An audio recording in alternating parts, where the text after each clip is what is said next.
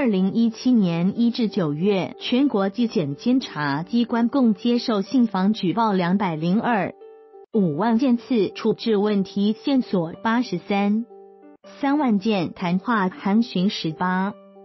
三万件次，立案三十八。三万件，处分三十三。八万人，其中党纪处分二十八。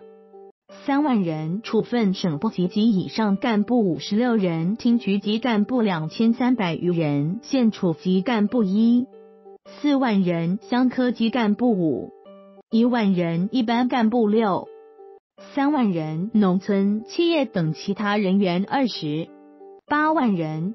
一至九月，全国纪检监察机关运用监督执第四种形态处理八十一。四万人次，其中第一种形态四十七三万人次，占四种形态处理总人次的五十八百分之二；第二种形态二十六一万人次，占三十二百分之一；第三种形态四五万人次，占五百分之五；第四种形态三四万人次，占四百分之二。央视记者王丽。责任编辑张建立。